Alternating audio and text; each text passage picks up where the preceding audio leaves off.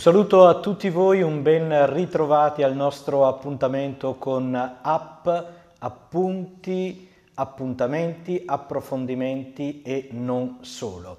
In apertura, come sempre, vi ricordo la nostra mail app chiocciola telepace.it canale per entrare in contatto con noi. Prima di aprire le telecamere per scoprire l'ospite che è in studio con noi questa sera, vi ricordo che dopo le visite già annunciate di Papa Francesco a Milano il 25 marzo e a Genova il 27 maggio, il 2 aprile Papa Francesco sarà nella diocesi di Carpi di Modena ed è una notizia molto bella che è stata annunciata oggi. Il 25 marzo verrà riaperta la cattedrale dopo il terremoto del 2012 il 26 marzo Telepace trasmetterà in diretta la messa da questa cattedrale e la domenica successiva il Papa sarà presente per incoraggiare il cammino di questa comunità diocesana colpita, come dicevamo, dal terremoto del 2012. Fra l'altro la nostra emittente ha aiutato una delle comunità cristiane che fanno parte di questa diocesi, la comunità di Novi di Carpi di Modena. Bene, dopo aver ricordato anche questo appuntamento nuovo di Papa Francesco, andiamo ad aprire le nostre telecamere, come dicevo, sull'ospite che è in studio con noi, Suor Ines Quintana della comunità Giacomo Cusmano. Un felice ritorno, possiamo dire, perché era stata con noi nei nostri studi in occasione della Pasqua del 2016. Ricordo, per saperne di più, insieme a quello che diremo questa sera, c'è un sito www.comunitagcusmano.it, tutto attaccato. Allora, eh, Suor Ines, Comunità Psicoterapeutica Giacomo Cusmano, la congregazione femminile delle Suore Serve dei Poveri è stata fondata a Palermo nel 1880. Vogliamo dire in poche battute chi sono le suore serve dei poveri e qual è il vostro carisma? Beh, noi suore serve dei poveri siamo state fondate per il Beato Giacomo Cusmano, sempre al servizio dei più poveri. In quei tempi che è stata fondata c'era una grande povertà in Sicilia e lui ha, ha avuto questo questa ispirazione di andare incontro alla povertà di quei tempi. Ha fondato questa congregazione insieme ai missionari servi dei poveri, ai confratelli servi dei poveri.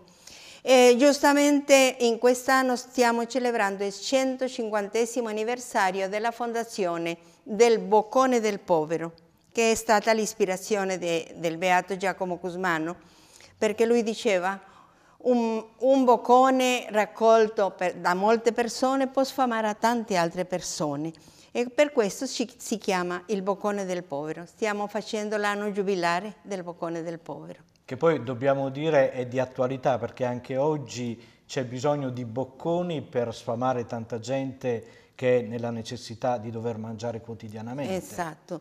Difatti noi nelle, nelle parrocchie, alcune parrocchie del, della diocesi di Civita Castellana e anche nelle parrocchie di Anguillara facciamo quello che è il boccone del povero. Ogni tanto i parroci invitano la gente ad apportare quello che possono per la comunità e si, si pratica il boccone in questa maniera. Quindi il vostro carisma è essere accanto alle povertà e ad alcune povertà in particolare. Soprattutto eh, scoprire alla luce del carisma quali sono le povertà che ci presenta la società attuale.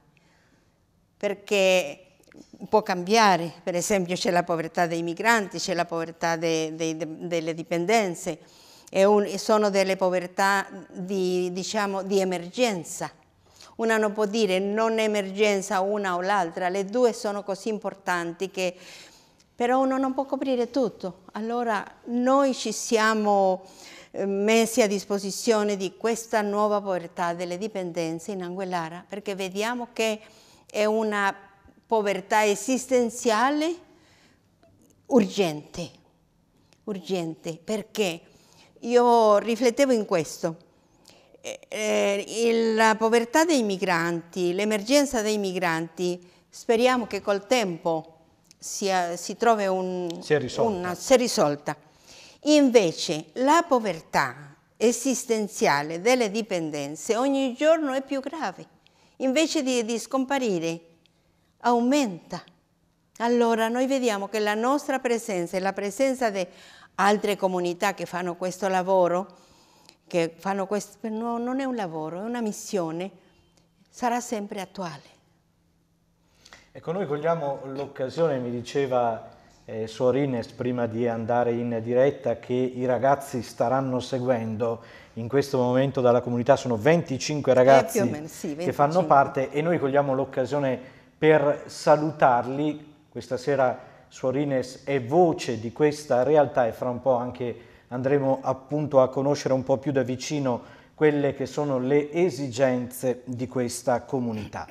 Ci fermiamo per un attimo perché come nostro solito durante app ci piace anche presentare un'applicazione che può tornare utile. Eh, questa sera, questo pomeriggio vogliamo presentare un'applicazione che ha a che fare con i giovani ed è un'applicazione della diocesi di Fabriano Matelica, si chiama Giovani App, un'applicazione che offre dalla parola di Dio quotidiana un punto di riferimento per eh, leggere, per conoscere la parola di Dio di tutti i giorni, a eh, spunti di riflessione, a domande che sono poste e che in questa app trovano delle risposte. Possiamo dire domande di ogni tipo, come, vediamo in, questo, in questa pagina, la richiesta di preghiera ad alcune comunità oranti, alcune comunità religiose. Quindi Giovani App è questa, eh, questa app che questa sera vi abbiamo presentato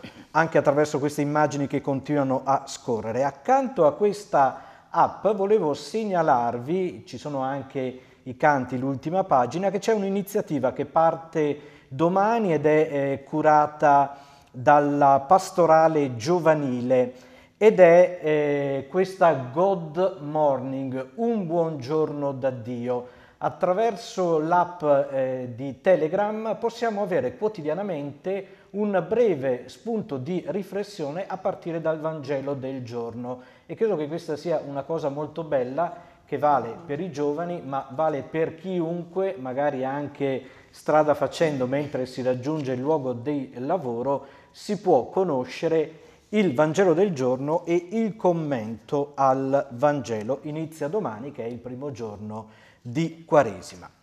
Progetto psicoterapeutico Giacomo Cusmano nasce dalla convinzione che l'uomo è lo scultore della propria vita.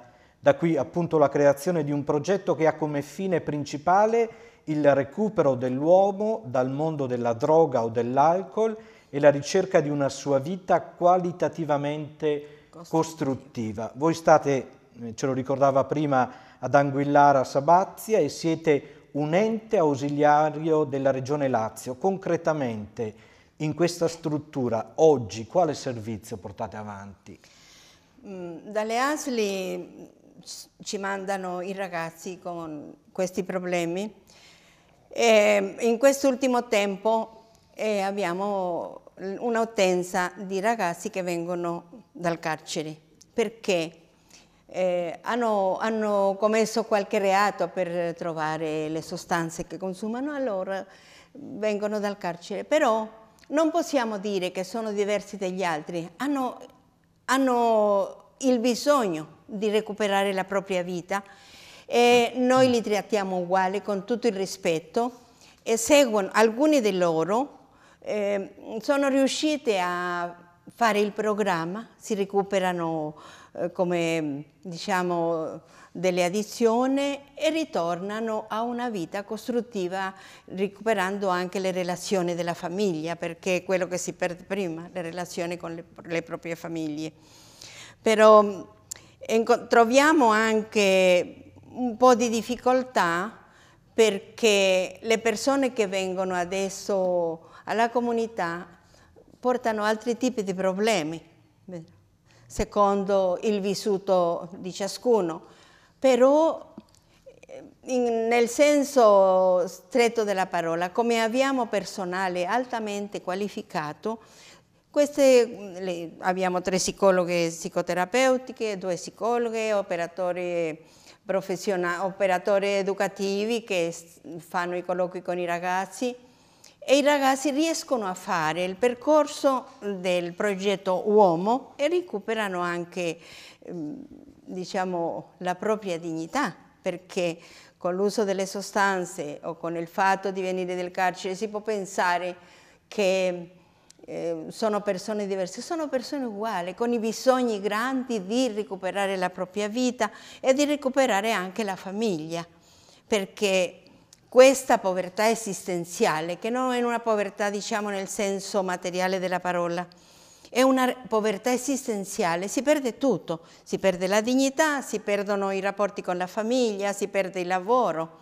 E, e con, questo, con, questo, percorso so, si riesce a, a recuperare la vita, a recuperare la famiglia e a trovare un lavoro che gli permetta di vivere con dignità. Ecco, in genere un ragazzo quanto si ferma all'interno della comunità? Mm, il percorso può durare un anno, un anno e mezzo, a secondo perché il cammino di ciascuno è diverso, le risposte personali di ogni, ragazzi, di ogni ragazzo non, non, sono uguali per tutti.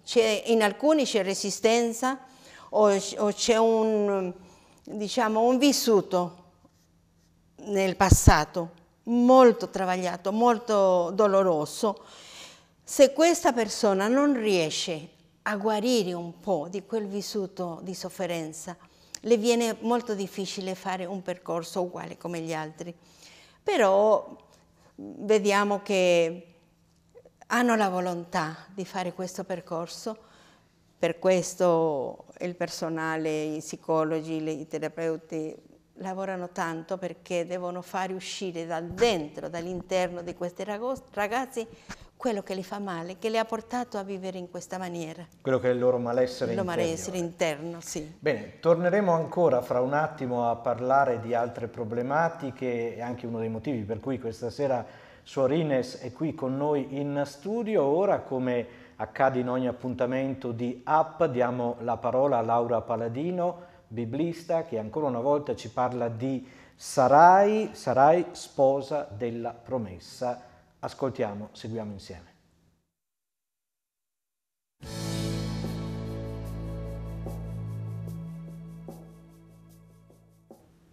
Sarai si configura esplicitamente nei testi delle storie di Genesi come la sposa della promessa. Dopo l'episodio d'Egitto arrivano delle piaghe contro il re, contro il popolo che aveva violato Sarai.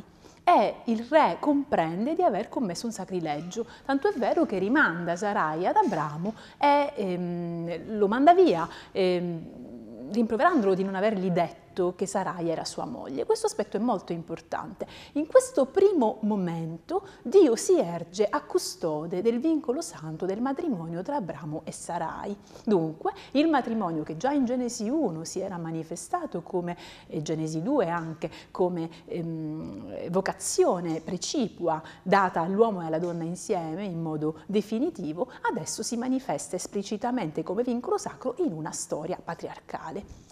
Questo aspetto ritorna in un altro episodio capitale della storia di Abramo e Sarai ed è la storia raccontata in Genesi 16, laddove mh, Sarai, essendo sterile e volendo comunque che la promessa di Dio si realizzi su Abramo e che quindi realmente Abramo possa diventare capossipite di popoli, um, gli concede la sua schiava Agar perché egli possa avere un figlio da lei. Ciò avviene, nasce Ismaele, ma Ismaele non è il figlio della promessa.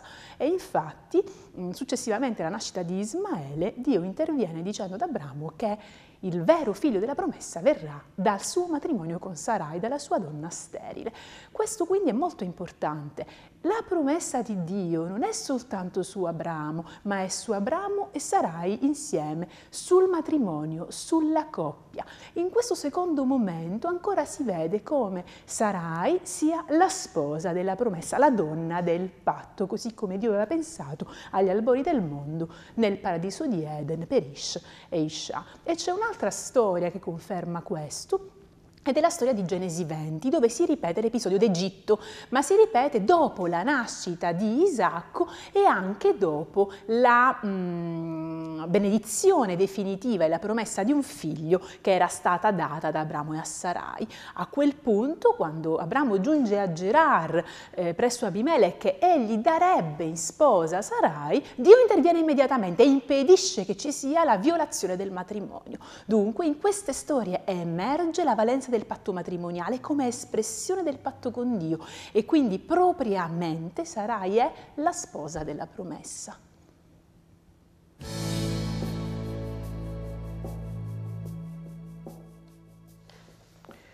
Torniamo a parlare con eh, Suor Ines, comunità psicoterapeutica Giacomo Cusmano. Allora, una domanda personale per Suor Ines, che cosa significa lavorare con questi ragazzi? Con questi ragazzi significa sentire che la tua vita ha un senso, che anche se, come nel caso mio, non sei più tanto giovane, con un po' di, di, di gioventù accumulata, puoi dare ancora. Per me stare con loro, vicino a loro, è una grande felicità, è una grande benedizione perché eh, abbiamo festeggiato poco fa 25 anni della esistenza di questa comunità e abbiamo messo nello striscione 25 anni al servizio della vita.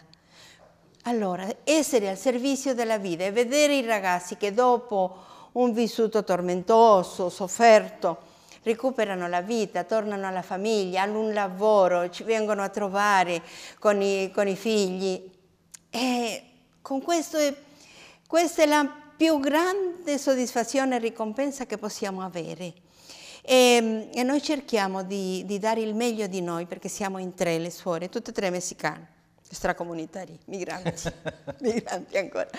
E cerchiamo di dare il meglio di noi, anche se ci sono tante sofferenze, tante cose che dobbiamo offrire ogni giorno al Signore perché ci permetta di continuare questo lavoro. Però noi prendiamo le parole del fondatore alla lettera. Quelli che non sono, che non vuole nessuno, vuole, sono nostri. E quei ragazzi sono nostri. Il nostro tempo è per loro. Le nostre fatiche sono per loro. La nostra casa, se lei viene un giorno a visitarci, la vedrà. La porta è sempre aperta. Per loro non c'è orario. Possono venire a qualsiasi ora. Ecco, eh, prima dicevamo sono 25 circa i ragazzi oggi presenti, la struttura quanti ne potrebbe accogliere? E questo è uno dei problemi che abbiamo perché abbiamo poca utenza. Eh, la struttura è stata mh, mm, progettata per 50 eh, utenti, divisa in due, l'accoglienza e la comunità. Ma adesso abbiamo tutti e due i gruppi là insieme perché sono pochi. Allora è questo uno dei problemi che si riporta anche al, al, settore economico perché meno tensa, le spese sono le stesse e gli operatori, il personale si deve pagare, si deve dare il suo, il suo mm, stipendio. Allora stiamo dicendo a San Giuseppe come capo di famiglia, della Santa Famiglia, che ci pensi un pochino in questa famiglia. La provvidenza non ci mancherà mai. Ecco, il mese che si apre domani ci porterà a festeggiare San Giuseppe. Ecco, accanto, questo è un problema. Ci sono altri problemi brevemente che magari vogliamo ricordare. Il motivo per cui lei questa sera è qui è un voler richiamare l'attenzione su questa comunità che si mette a servizio di questi ragazzi con queste povertà, come dicevamo prima, sì. di dipendenza. Un po' di difficoltà troviamo di rispondere a tutti i problemi che le, le persone che arrivano portano con sé, perché non sono uguali quelli di 25 o 10 o 15 anni fa ai problemi di adesso, voi lo sapete benissimo. I ragazzi arrivano con altri problemi, per cui pure ci abbiamo, mm, diciamo, vogliamo aiutarci di, di, altre, di, altre, cose per aiutare a questi ragazzi, perché hanno bisogno di, di ricevere stimoli positivi. E per incoraggiarli abbiamo arricchito queste stimole con un recupero scolastico, c'è un professore pagato dal Ministero della Pubblica Istruzione che, che fa avere ai ragazzi le, gli studi necessari per avere almeno un attestato. Certo. Poi eh, abbiamo trovato un, un, una persona disponibile che ci permette di, di portare i ragazzi alla, alla piscina, hanno pure lezioni di chitarra, di informatica. E li abbiamo fatto uscire diverse volte, eh, li abbiamo portato ad Assisi, a Firenze, adesso stiamo programmando un'altra uscita, vediamo dove.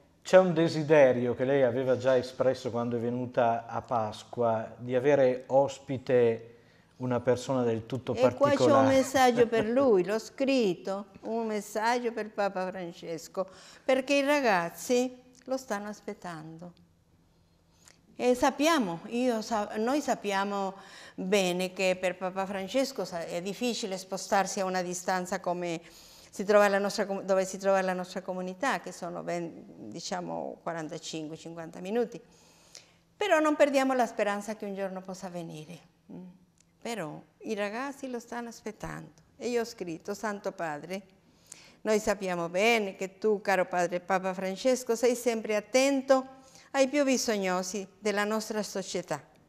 I nostri ragazzi fanno parte delle persone povere esistenzialmente voglio dire, voglio dire, privati della salute, della libertà, della vicinanza alle loro famiglie, che pure questo le fa soffrire tanto.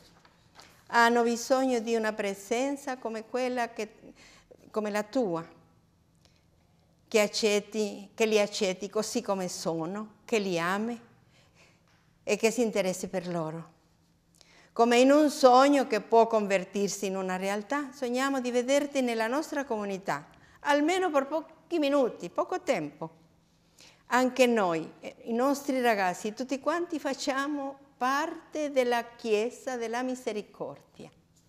Questo è l'augurio che veramente poi Suarines scriverà al Santo Padre possa essere accolta questa richiesta. Sappiamo che Papa Francesco, come ci ricordava, è attento soprattutto a certe realtà e speriamo, anche se l'anno della misericordia è finita, è finito che Papa Francesco possa accogliere questo invito. Che è voi... finito l'anno della misericordia, ma la misericordia non no, finisce. Non finisce. E poi desideriamo almeno un, un, posto un po' vicino in un'udienza del mercoledì ci prepariamo, però vogliamo che il, il Papa veda i nostri certo, ragazzi certo, da certo. vicino. Certo. Bene, domani dicevamo inizia il tempo forte della Quaresima, ora in una carrellata che sarà velocissima, vi faccio vedere tantissimi sussidi, tante volte siamo in difficoltà su come pregare, su come approfondire, su come riflettere, tanti sussidi che possono tornare veramente utili, ne basta uno, però io ve ne offro eh, più di uno per vivere bene la Quaresima. E partiamo subito con questo Tempo per te che è eh, realizzato dall'azione cattolica, in questo caso per i eh, giovani. Accanto a questo ce n'è un altro, in questo caso invece è per i eh, giovanissimi, Gioia Infinita. È una sorta di libretto dove giorno per giorno viene compiuto il cammino della Quaresima. Riscoprire digiuno e astinenza, le mele rosse, forse tante volte abbiamo perso il significato del perché siamo invitati a fare digiuno, come nella giornata di domani e venerdì santo, e l'astinenza nei giorni di venerdì di Quaresima. La Quaresima è una riflessione, un'occasione da non perdere. Poi è classico nel tempo di Quaresima la Via Crucis, anche qui ce ne sono tantissime, la Via Crucis della famiglia per camminare verso la Pasqua, al cuore della sofferenza, altra Via Crucis, poi una Via Crucis con le meditazioni di Paolo VI, a cura di Leonardo Sapienza, le sette parole di Gesù sulla croce, questi sono sei schemi di Via Crucis, uno per settimana per vivere il tempo della Quaresima. Poi dagli scritti di Primo eh, Mazzolari, un'altra Via Crucis che può essere interessante, come del resto questa proposta a partire dal Magistero di Papa Francesco. Poi sempre in casa Azione Cattolica per i ragazzi, è bello per noi essere qui e qui per le diverse fasce di età c'è tutta una serie di sussidi che possono eh, tornare utili sia per la catechesi come per la preghiera personale. Infine, in cammino bambini e adulti, anche qui due strumenti che possono essere utili per vivere giorno dopo giorno il tempo della Quaresima. Per i più piccoli, la mia Quaresima, questo eh, libretto, la mia Quaresima 40 giorni a Pasqua, e poi sapete che eh, per volere di eh, Papa Francesco ci saranno le 24 ore per il Signore che si vivranno il, tra venerdì 24 e sabato 25 marzo. Misericordia io voglio è un sussidio pastorale che averlo per tempo ci aiuterà a vivere questa iniziativa. Instagram, anche questa sera vediamo alcune foto legate al, all'attività del Santo Padre, i bambini ci insegnano a vedere la realtà con uno sguardo fiducioso e puro. Bellissima questa immagine di Papa Francesco. Poi andiamo a sabato, servire con amore e con tenerezza le persone che hanno bisogno di aiuto ci fa crescere in umanità. Comunità di Capodarco, sabato scorso l'udienza che c'è stata. Domenica Cristo ci guarda e il suo sguardo posato su di noi è uno sguardo di salvezza, di amore e di compassione Chiesa Anglicana in Roma, la visita del Papa di domenica. E infine un'immagine dell'udienza generale, anche questa una immagine ricca di tenerezza. Per quanto riguarda Twitter, allora partiamo dal 24 febbraio, nel cuore del cristiano c'è sempre la gioia, sempre, la gioia accolta come un dono e custodita per essere condivisa con tutti. Sabato 25, annunciando a tutti l'amore e la tenerezza di Gesù, diventiamo apostoli della gioia del Vangelo e la gioia è contagiosa. Domenica 26, perseveriamo nella preghiera affinché si compia il desiderio di Gesù che tutti siano una sola cosa. Giornata di ieri, quando il nostro cammino è segnato dalla precarietà e dalle cadute, Dio ricco di misericordia tende la sua mano per rialzarci. E infine oggi, la preghiera è la chiave che apre il cuore misericordioso di Dio. Alcuni appuntamenti, anche qui andiamo in maniera molto veloce, dalle dirette in tv, domattina alle 9.30 l'udienza generale del mercoledì, alle 16.30 dalla chiesa di Sant'Anselmo la stazio quaresimale e la processione e alle 17 dalla basilica di Santa Sabina la messa con il rito dell'imposizione delle ceneri presiedute da Papa Francesco. Sempre da domani, vi ricordo, alle 20.30 inizia la Quaresima, preghiera in famiglia, va verso la terra che io ti indicherò. Giovedì 2 marzo alle 11, in diretta dalla Basilica di San Giovanni in Laterano, l'incontro di Papa Francesco con i parroci di Roma. Alcuni appuntamenti a Roma, non in tv, Domani 17.30 Basilica di San Giovanni Laterano, Santa Messa Capitolare e inizio degli appuntamenti quaresimali. Il 2 marzo alle 17.45 Santa Croce in Gerusalemme, tutti i giovedì di Quaresima, riflessione sulla passione, morte e risurrezione di Gesù, mentre nell'anno centenario delle apparizioni di Fatima a San Salvatore in Lauro, in occasione dei primi sabati del mese, in questo sabato 4 marzo ci sarà l'accoglienza della Madonna di Fatima alle 17 al Rosario e alle 18 la Santa Messa. Domani non saremo in replica perché inizia la preghiera in famiglia, noi torneremo in diretta giovedì, dopodomani, alle ore 18, il 2 marzo.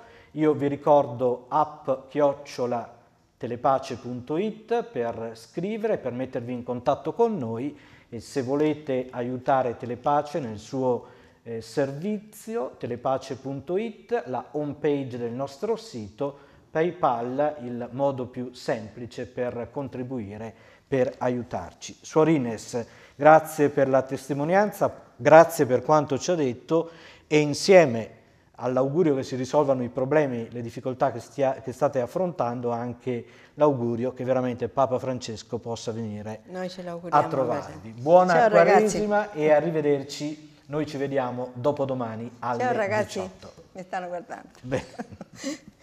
Vabbè.